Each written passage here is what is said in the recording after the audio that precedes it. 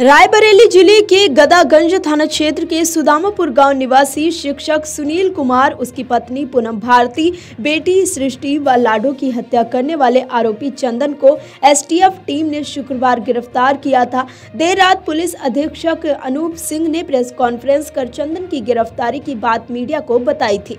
Press conference के बाद police team घटना में प्रयुक्त तमंचे और बाइक बरामद करने के लिए आरोपी को लेकर निकली थी। मोहनगंज थाना क्षेत्र के पूरे बिंद नहर पट्टी के पास अचानक चंदन ने साथ चल रहे दरोगा मदन कुमार की पिस्तौल छीन पुलिस टीम पर फायरिंग शुरू कर दी। जवाबी कार्रवाई में पुलिस टीम ने चंदन के पैर पर गोली मारकर जख्मी कर दिया। जख्मी चंदन को सामुदायिक स्वास्थ्य केंद्र में भर्ती कराया गया, जहाँ उसका इलाज चल रहा है। दिनांक तीन दस दो हज़ार चौबीस को थाना शिवरतनगंज के ग्राम अभरवा भवानी में चार व्यक्तियों की गोली मारकर हत्या कर दी गई थी। इसके मुख्य अभियुक्त चंदन वर्मा को दिनांक चार दस दो हज़ार चौबीस को गिरफ़्तार किया गया था। अभियुक्त से की गई पूछताछ के आधार पर हत्या में प्रयुक्त पिस्टल की बरामदगी पुलिस आज उसको लेकर गई गई थी। इसी के दौरान उसके द्वारा उप निरीक्षक मदन कुमार से पिस्टल छीनकर पुलिस पार्टी पर जान से मारने की नीयत से हमला किया गया। पुलिस पार्टी द्वारा बचाव में फायर किया गया जिससे अभियुक्त के दाहिने पैर में गोली लगी। अभियुक्त को इलाज हेतु सी लाया गया है। पुलिस द्वारा अग्रिम वैधानिक कार्रवाई की जा रही है। कंपोजिट स्कूल के शिक्षक, उनकी पत्नी और दो बेटियों के हत्यारोपी चंदन वर्मा को एसटीएफ ने शुक्रवार देर रात लखनऊ आगरा एक्सप्रेसवे से गिरफ़्तार किया है। आरोपी के पास एसटीएफ ने घटना में प्रयुक्त पिस्टल व बाइक बरामद की है। आरोपी ने घटना को अंजाम देना स्वीकार किया है। उसका शिक्षक की पत्नी से प्रेम प्रसंग था, इसीलिए पूरे परिवार की हत्या कर दी। एसटीएफ के सीओ ने बताया कि रायबरेली ज़िले के गदागंज थाना क्षेत्र के सुदामापुर गाँव निवासी शिक्षक सुनील कुमार और उनकी पत्नी पूनम भारती, बेटी सृष्टि व लाडो की बृहस्पतिवार देर शाम शिवरतनगंज क्षेत्र के अहरबा भवानी कस्बे में किराए के मकान में गोलियों से भूनकर हत्या कर दी गई थी। मामले में शिक्षक के पिता राम गोपाल ने रायबरेली कोतवाली क्षेत्र के तेलिया कोट निवासी चंदन वर्मा को नामजद किया। पुलिस उसकी तलाश में जुटी थी, लेकिन पुलिस गिरफ़्तार नहीं कर पाई। शुक्रवार देर रात पता चला कि एसटीएफ ने उसे गिरफ़्तार कर लिया है। पहले पुलिस अफसरों ने गिरफ्तारी को लेकर चुप्पी साधी, लेकिन देर रात बताया कि एसटीएफ ने उसे पकड़ लिया है।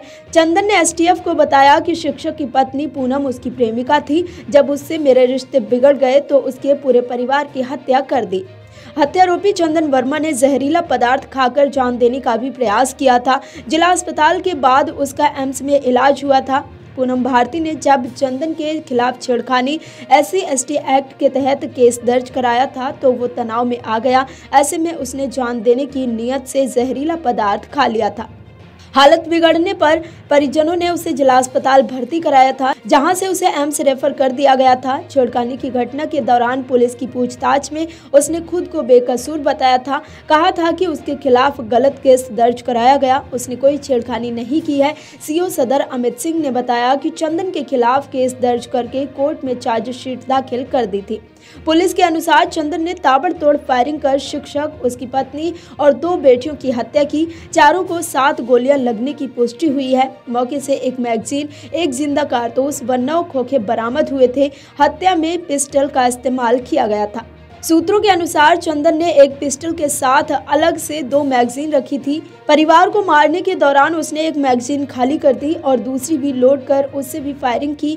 वहीं शुक्रवार को एएसपी हरेंद्र प्रताप ने महज सात खोखा बरामद होने की पुष्टि की। उन्होंने बताया कि पिस्टल से गोलियाँ चलाई गईं। मौके से एक मैगजीन, एक ज़िंदा कारतूस व सात खोखे बरामद हुए हैं। उनका दावा है कि घटना को अकेले चंदन ने ही अंजाम दिया। वो बुलेट से आया था।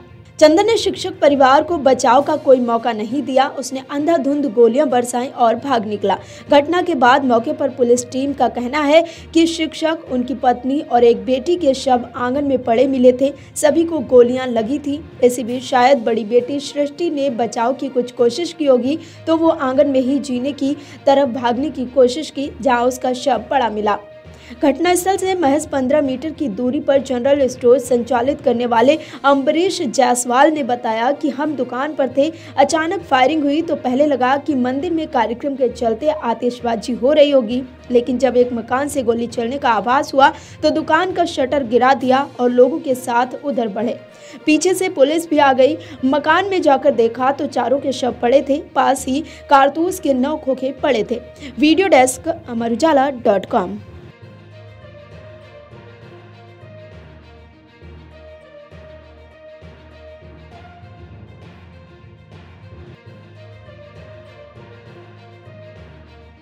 अगर आप ये वीडियो YouTube पर देख रहे हैं तो हमारे चैनल को सब्सक्राइब करें और बेल आइकन को दबाना ना भूलें। अगर आप Facebook पर यह वीडियो देख रहे हैं तो हमारे पेज को लाइक करें।